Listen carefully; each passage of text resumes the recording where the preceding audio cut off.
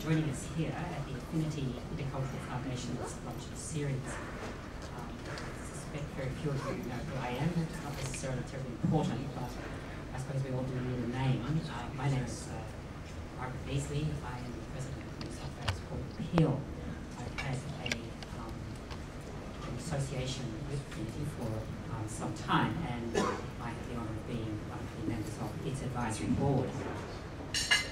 May I commence um, by acknowledging the Gadigal people of the Eora Nation as the traditional owners and custodians of the land on which we stand. We pay our respects to their elders, both past and present. For those of you who are at Affinity for the first time, um, I'll just mention a few words about it. Affinity was formed by um, a group of young Australian Muslims, um, mostly of Turkish background, uh, in 2000 and it became incorporated in 2001. The aim is to promote multiculturalism and to foster intercultural and interfaith dialogue and doing that by building bridges between different parts of society. Hence, an, a luncheon like this. One of the um, great, I think, um, pushes, if I can put it that way, that organisations like this have achieved over time is to integrate uh, the major uh, sectors and establishments of and institutions of society, including the court. And one thing that has been introduced, not directly um, at the instance of affinity, but certainly with their support, um, is to now have an opening term ceremony at the Gallipoli Mosque.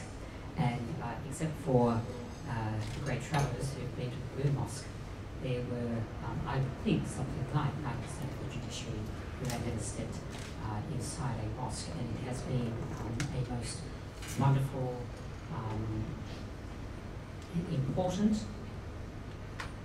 and, and in its own way very spiritual um, occasion for the legal profession, just as we as a legal profession commence the beginning of term each year by going to the Red Mass, um, by going to the uh, St James Church, the synagogue, and the um, Orthodox and Coptic churches. And we have now added into um, our sense of community uh, those who are of the Islamic faith, and we have made great friends through it.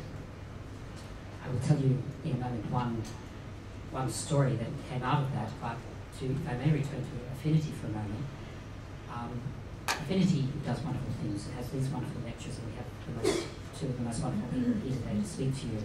Um, but it organises international study tours, um, surprisingly often to Turkey. Uh, it does academic conferences, cultural exhibitions, Ramadan iftar dinners. Uh, and for those of you who aren't into that yet, uh, Ramadan this year uh, commences on the 17th of June.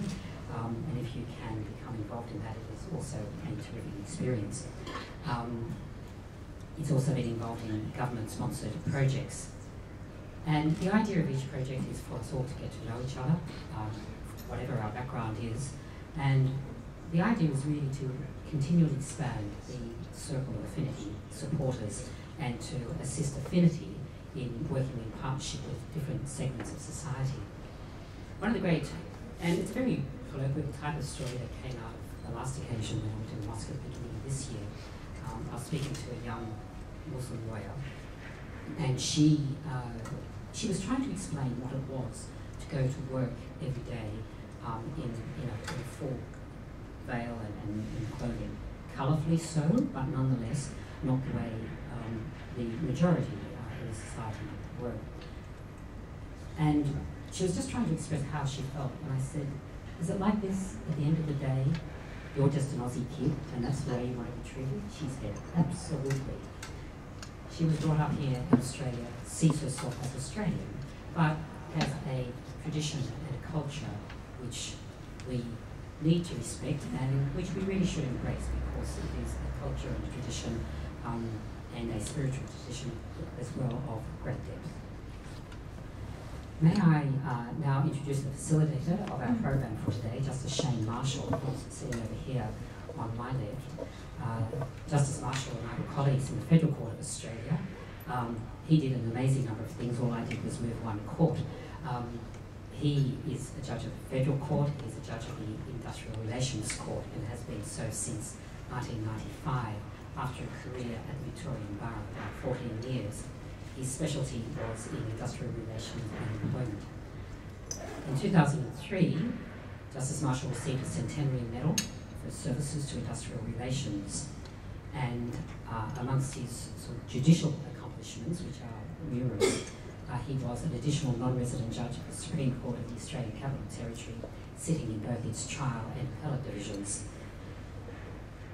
He has an academic background as well. He has been on the board of the law faculty of Monash University, and he currently sits on its on the replacement external persons advisory committee for the Monash law faculty. And um, for those academics in the in the room, and I would include Professor Gillian Triggs in this, I'm sure over the years she has welcomed the assistance that can be provided by those in the profession to those who are coming into the profession.